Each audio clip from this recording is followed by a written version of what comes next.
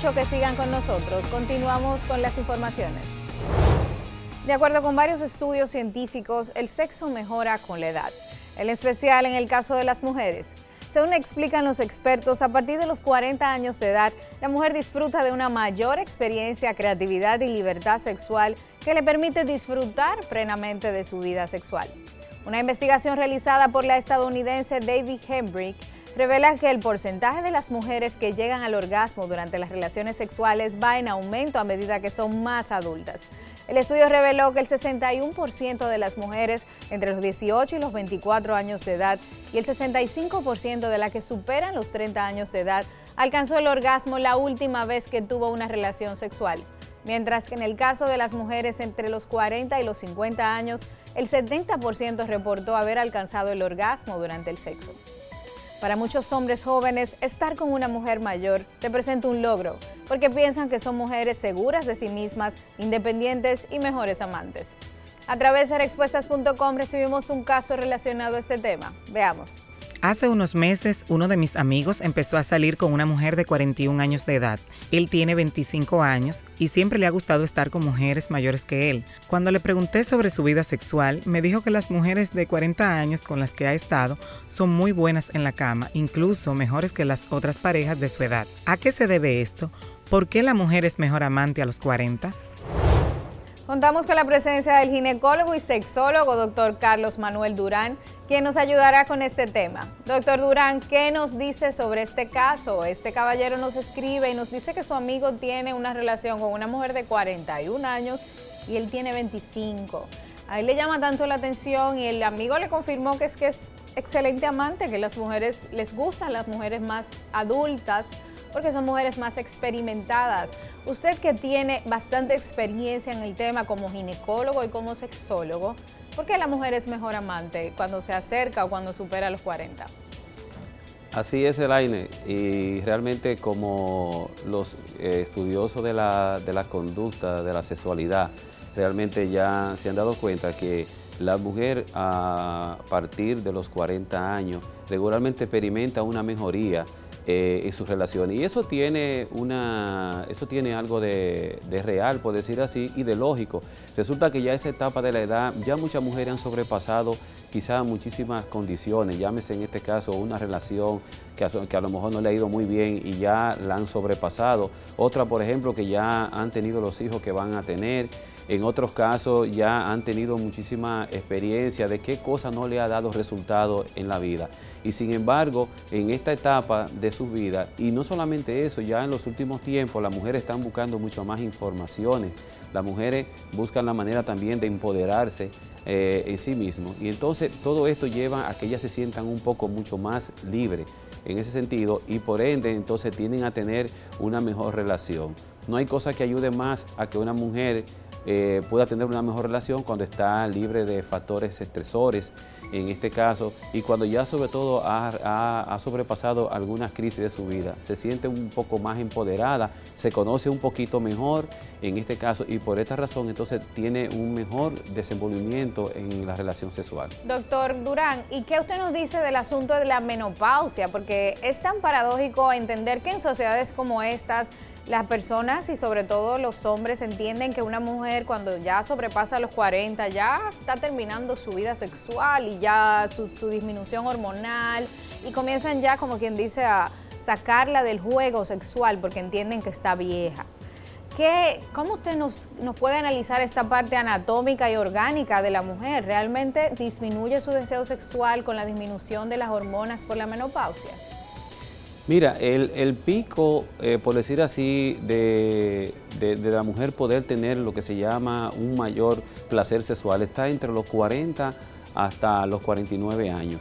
Y ya a partir de los 50, que es cuando la gran mayoría de las mujeres empiezan a experimentar la menopausia, que es el cese de la producción de estrógeno, aunque se produce una disminución de, en este caso, de la libido sexual en, la mujer. Y se dan algunas condiciones como la resequedad vaginal en este caso, algunos cambios que tienen que ver con el estado de ánimo y todo eso, si la mujer tiene un buen acompañamiento, sabe eh, buscar la ayuda recomendada, en este caso la mujer puede sobrepasar muy bien esta etapa y puede de nuevo volver a recobrar otra vez. De hecho, se han hecho muchísimos estudios donde un alto porcentaje de mujeres han podido lograr tener incluso orgasmo después de la, menopausia y pueden también eh, poder tener, en este caso, una vida sexual satisfactoria. Claro está, de acuerdo a la edad.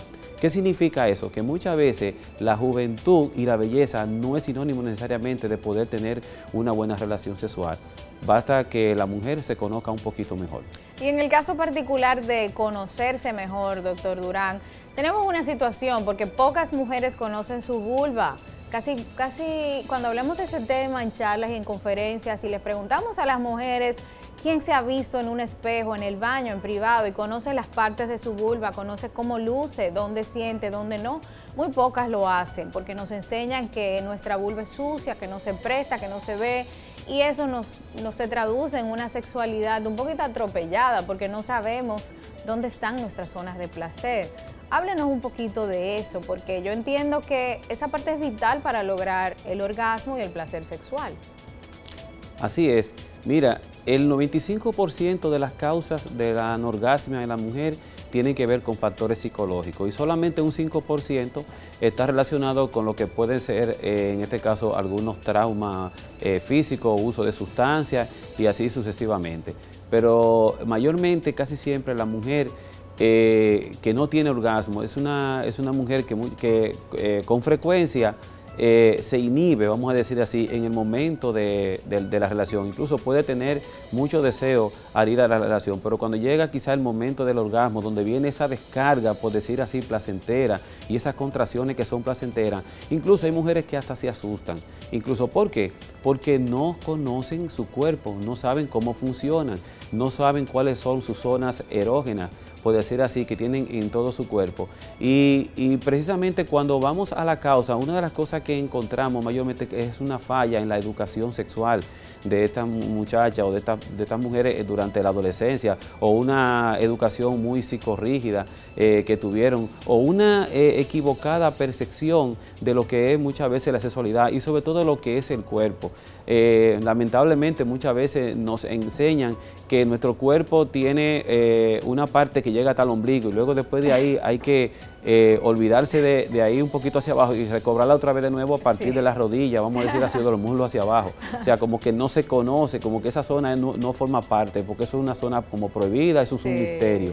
Y realmente, por eso es que eh, eh, parte de la educación necesitan que las, que las muchachas, las, niñas, las adolescentes, en este caso, aprendan a conocer su cuerpo y a tocarse su cuerpo para descubrir algunas cosas, sea, importantes. O sea, no es nada malo, sino es mi cuerpo y mi cuerpo es algo que yo tengo que cuidar, pero también tengo que conocer. Doctor, y en el caso particular de las que nos estamos acercando a los 40, entendemos que se vive como una otra adolescencia, porque uno ya como que es más egoísta, como que ya piensa en dejar de complacer tanto al mundo y complacerse más a uno mismo, que esa parte es fundamental.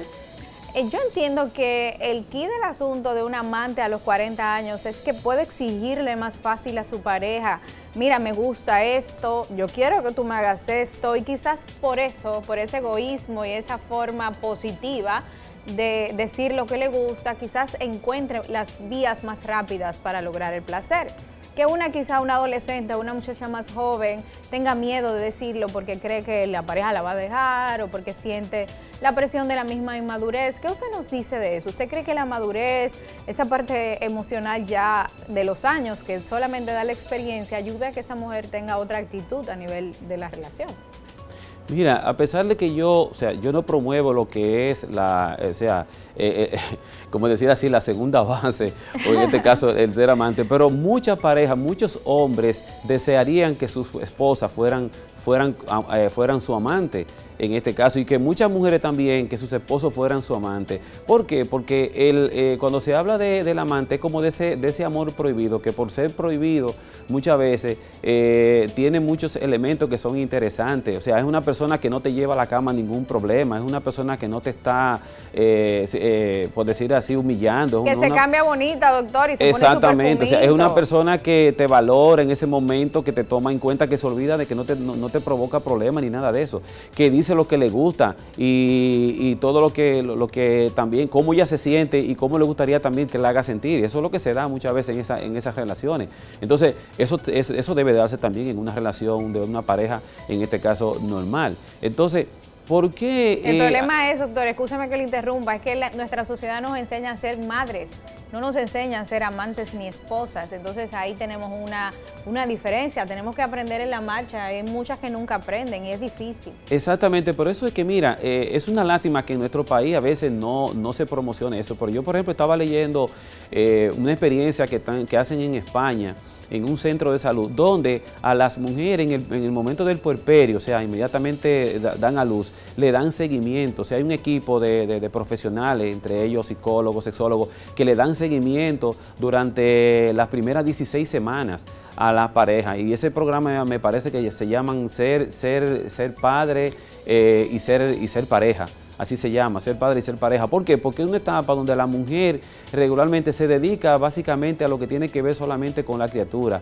se olvida un poco de, la pareja. Y el hombre también muchas veces se, deshace un poquito y se, y se, pone a hacer otro tipo de cosas y quizás muchas veces no ayuda también en este proceso. Entonces la relación hasta cierto punto, por decir así, se distancia un poco. Entonces ahí que muchas mujeres quedan después de que pasan por este proceso. Y entonces muchas veces cuando terminan un, un puerperio, apenas inmediatamente muchas salen embarazadas de nuevo y esto se convierte prácticamente en un estilo de vida.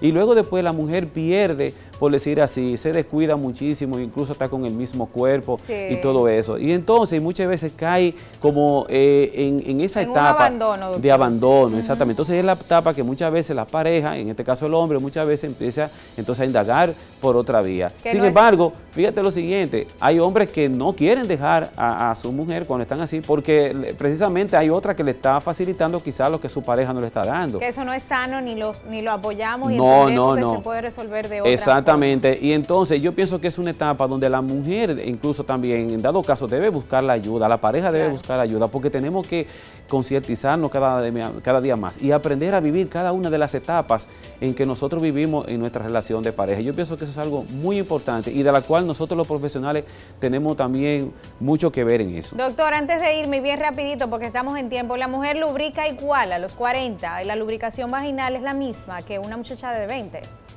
Mira, a los 40 años todavía si está produciendo los estrógenos necesarios, la mujer puede lubricar eh, perfectamente. Y cuando no lo está, en este caso existen muchísimos medios para poder eh, producirlo. Está eh, la misma relación, el mismo sexo oral, en este caso que es la forma natural, como yo a veces les recomiendo, pero también están las cremas, también que existen en el mercado, que son muy buenas y que también pueden ayudar. Excelente. Muchísimas gracias, doctor Durán. De verdad que apreciamos muchísimo su tiempo y que haya venido a ayudarnos con este tema. El conocimiento del cuerpo es vital para que una mujer disfrute de una relación sexual. Y este es uno de los impedimentos que hace que en sociedades como esta, donde no se promueve que la mujer se conozca y que pueda disfrutar de una sexualidad plena, tengamos una altísima cantidad de mujeres que nunca han logrado un orgasmo y que tampoco disfrutan el sexo, aunque no se atrevan a decirlo. Nuestra realidad tiene que cambiar. Nuestro cuerpo nos pertenece y es un derecho conocerlo, porque es la única manera de protegerlo y lograr asumir una sexualidad responsable y placentera. Lamentablemente llegamos al final del programa. Espero que hayan aprendido y que se repita la sintonía. No olviden entrar a respuestas.com, que es nuestra página web especializada en educación sexual, donde podrán encontrar las respuestas a sus dudas e inquietudes sobre cualquier tema relacionado a embarazo, infecciones de transmisión sexual, relación de pareja, orgasmo, preguntas de padres sobre cómo hablar de sexualidad en la familia y muchos otros temas. Nos vemos pronto aquí en NCDN. Una servidora, Elaine Félix, se despide cordialmente. Hasta la próxima.